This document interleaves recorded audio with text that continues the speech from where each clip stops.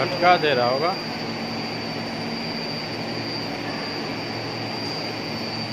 एक हमारे मित्र हैं एस के, उनको भेजता हूँ बना के अभी।